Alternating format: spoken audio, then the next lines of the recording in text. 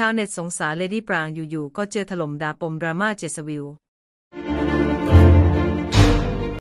คนสวยสวยสุดนาทีนี้อยู่ๆก็งานเข้าสำหรับเลดี้ปรางกัญญ์ณรัณ ที่ถูกชาวเน็ตจับโยงในความสัมพันธ์ ของเจษ เจษฎ์พิพัฒและวิววรรณรทที่ถูกจับตาว่าเลิกลาห่างกันหรือเปล่า จนพลอยฟ้าพลอยฝนโดนลูกหลงคอมเมนต์ชาวเน็ตถล่มด่าไปด้วยโดยเฉพาะคลิปล่าสุดหลังจากที่เจษลงคลิปร้องเพลงกับเลดี้ปรางไปงานนี้ ก็มีชาวเน็ตเข้ามารุมตำหนิเจษเป็นจำนวนมาก โดยบอกว่าสงสารวิวหรือไม่ก็บอกให้เจษห่วงความรู้สึกของวิวบ้าง งานนี้จึงทำให้มีชาวเน็ตบางคนถึงกับทน ไม่ได้เมื่อเลดี้ปรางถูกชาวเน็ตบางกลุ่มตัดสินว่า เป็นต้นเหตุทำให้ความรักของวิวและเจษพัง จึงได้เข้ามาคอมเมนต์ปกป้องนางเอกสาวว่า ขอพูดในฐานะผู้หญิงด้วยกันสงสารปรางอาโดนแฟนคลับวิวถล่มหนักเลยจริงไม่จริงไม่รู้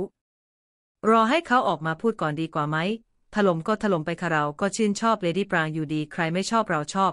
ปรางเขาแกร่งค่ะไม่ต้องห่วงคนดีๆ วันหนึ่งคนจะเห็นเองปรางเขามักจะปล่อยผ่านในเมื่อเขาไม่ได้ทำผิด พอเห็นข่าวสดหน่อยก็เม้าเขาไปทั่ว ถามจริงจะไปใช้ชีวิตกับพวกเขากัน หรือระยะของแฟนคลับไม่ว่าจะฝ่ายไหนควรมีสติค่ะเขาจะรักจะคบใครจะเลิก หรือไม่เลิกมันคือเรื่องของเขาค่ะเป็นแค่แฟนคลับ ก็ควรอยู่ในที่ของตัวเองไม่ชอบก็ปล่อยผ่านเถอะ ไม่ดูเขาก็ยังมีคนอื่น ที่รอดูผลงานพวกเขาค่ะรักเจษรักวิวรักปรางถ้าเขาแต่งงานเมื่อไหร่คือคู่เขา